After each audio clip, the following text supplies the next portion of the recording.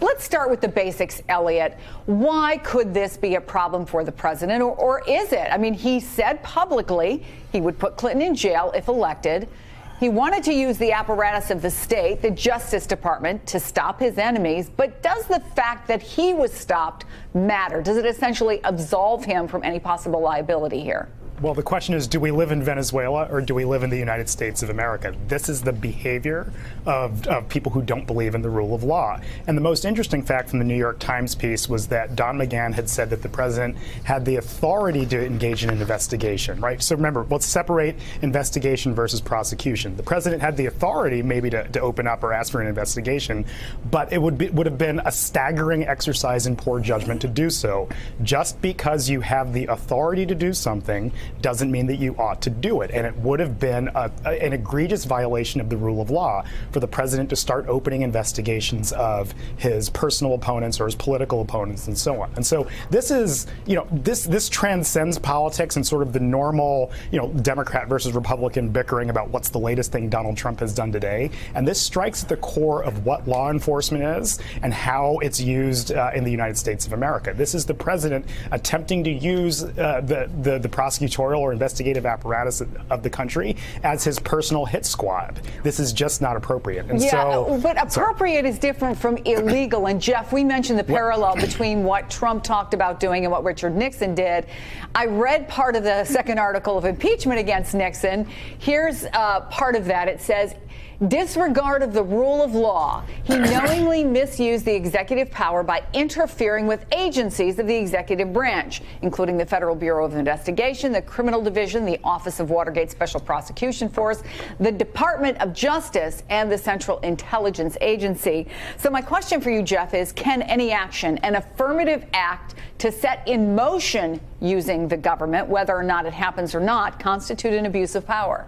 Well, it was in Richard Nixon's situation because he tried to attack his opponents. He also tried to kill an antitrust case, and he was uh, uh, one of the counts, excuse me, against him for his impeachment was abuse of power, and the parallel to Donald Trump is really striking here.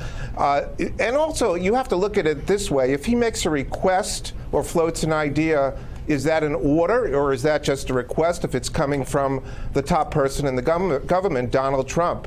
And uh, I think Donald McGahn's separation for this in the memo is a bit disconcerting because uh, an order from Trump or a request is basically the same thing, and it could constitute an abuse of power. The question is, will it be part of Mueller's uh, memo to the Hill or memo to the court, or will or will it be part or memo to the Department of Justice? Or will it be part of some sort of lawsuit? Well, Shannon, we laid out the memo that McGahn had drawn up about the potential consequences if Trump went through with this. We don't know if he even read it, although he has a history of not reading mm-hmm. things that are put on his desk. But clearly, McGahn could have given him these bullet points. But do we know why he didn't and hasn't followed through on these threats, especially since, by all reporting, it's still eating at him? Well, I mean, those are valid points that were raised in those memos that um, many lawyers would probably give uh, if they were asked their advice on this. Um, and I, one thing I will note about this memo, if there is actually something in writing, then that's something that is subpoena that the House Democrats can subpoena and request. It's something that um, Bob Mueller and his investigators could subpoena, or uh, you know, if the White House doesn't give it over, if they don't already have it. Um, so I would point that as far as something in in writing. Now, I mean, of course, the, the president's own lawyers have argued in the past that the president does have the authority, as one of the guests before me was saying, to request an investigation. So, and also laid out in McGahn's memo, it's not saying that the president can't request his Justice Department pursue something, but he can't order it, he can't force them to do it, and he can't force a prosecution, which would actually be, um, you know, finding some sort of criminal wrongdoing, especially if there's not any criminal wrongdoing there. Um, but I do think this fits into this bigger, um, you know, issue here. And to your question about is this something he's still fuming about? I mean, I found in these two years that the the public President Trump and the private President Trump are often the same. Often, the Twitter feed is a reflection of what he is telling his aides in private. So, if we see him on Twitter continuing to complain um, that he believes that Comey leaked classified information, or he believes Hillary Clinton should be prosecuted uh, for her email use, even though Comey decided not to, uh, I mean, those are certainly thoughts. If he's airing them publicly, he's also airing them mm-hmm. privately, and they should be an indication of where his mindset is as well. Yeah, which brings us Mike and Ron, to this ver- one versus the other, the political versus the legal consequences. Uh, politically, this is no surprise what the president has wanted. He's talked about it. He talked about it before, and he's talked about it since. Having said that, uh, does this in any way change the political equation now that Democrats are going to be in charge of the House on Capitol Hill? Could it could it lead to something? I've already heard some people saying, you know what, this is not where the Democrats want to necessarily go with this. Let Mueller do what he's going to do.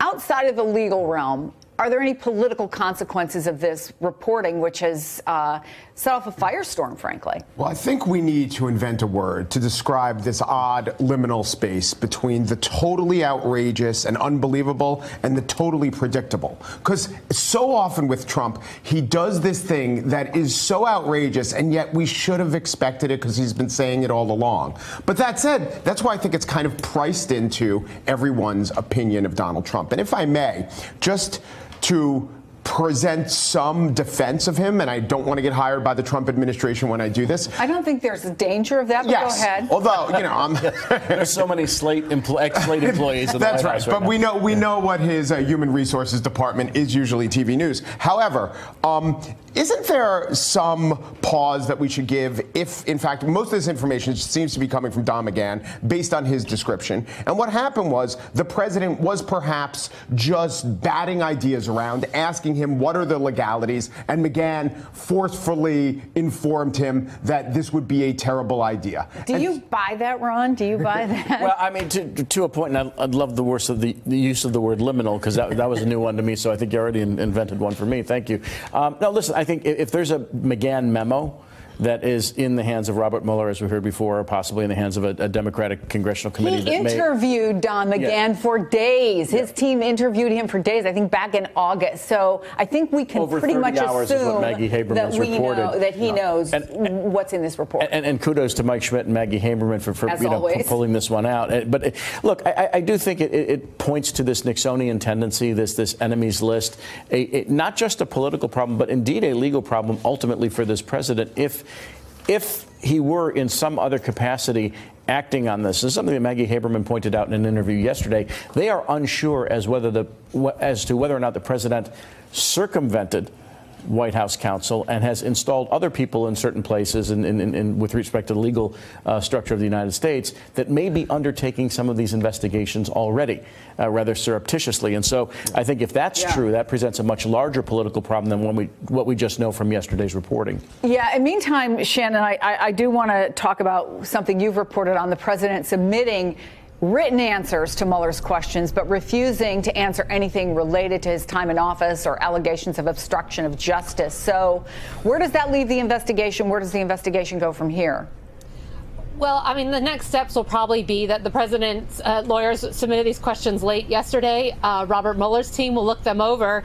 Um, the president's lawyers are then expecting maybe in four or five days for Mueller's team to get back to the president's legal team uh, and either tell them, you know, this satisfies what we were looking for, or to ask some follow-up questions. The hope on the president's legal team, then, uh, though I can't vouch for how realistic it is, is that then uh, these questions would be enough for Mueller to wrap up at least a part of his investigation related to the president's involvement during the campaign in any sort of Russian election interference efforts. El- However, Elliot, there is still, well, yes, I will say, there is still a big uncertainty here, and it's completely unclear whether Mueller thinks that way about this at all. It is still very possible that Mueller could ask um, additional questions, questions about obstruction, which were not answered, and he could still request an in person interview. For Mueller, this might just be a first step, a jumping off point, but the president's legal team is certainly trying to frame this in the context that this is the end, folks, about to go home. Yeah, that definitely definitely is the way yeah, they're trying to frame it, Elliot. But what do you think the chances are that uh, that Mueller goes a step further? Well, it depends what, just like Shannon said, it depends what's found in the documents. Certainly, Donald Trump and his lawyers do not have an interest in the president sitting down uh, with, with Mueller and his team just because the president would be a disastrous witness. We know, and we've seen him talk before. But certainly, you know, the president can, can, can state executive privilege as the reason for why they don't want to talk about some of the obstruction issues and so on. But at a certain point, you know, executive privilege cannot be a shield to law breaking. And if there's a lawful basis, and if Mueller has a basis for going going further on the the, the um, on the obstruction of justice questions, then certainly they can request further written questions. I think that would be the first step, and then depending on how that goes, potentially get the president to sit down. But as we all know, trying to take that next step is going to require a lot of litigation and a lot of time. And so, uh, you know, we're, we haven't seen the end of this obstruction of justice question. It's not going anywhere, and it's probably going to. Yeah, Jeff, and it would seem to me that that you know trying to get the president to to come before and answer questions in person isn't the only thing here. Obviously, that could right. could delay this from being wrapped up the way the White House has been saying uh, they'd like to see it, or I guess the president was promised at the end of last year that they were about to wrap it up. I mean, here you've got Matt Whitaker, who's been on the record supporting the prosecution of Hillary Clinton. Uh, the possibility, as Maggie Haberman said, something else is going on that we don't know about. Where do you see this all right now? Well, well, Chris, I don't see this wrapping up anytime soon, and you have a number of pending indictments. You have, you have a number of potentially unsealed. Uh, excuse me, sealed indictments, and that, that is what I wanted to follow up on what, what Elliot just said. We don't know if, in fact, Trump has already been subpoenaed because there's been litigation in D.C. with the chief judge under seal. There are sealed uh, proceedings going on, there are sealed indictments, and we don't know whether this subpoena issue has already been litigated in D.C., DC, whether it's been argued before the D.C. Circuit, and whether it's ripe for the Supreme Court. Mueller may have already subpoenaed Trump, but just we are not aware of it because it has not been unsealed. And we know that Mueller has uh, kept his ship from leaking uh, for a very long time now, from the very start. Hey there, I'm Chris Hayes from MSNBC. Thanks for watching MSNBC on YouTube. If you want to keep up to date with the videos we're putting out, you can click subscribe just below me or click over on this list to see lots of other great videos.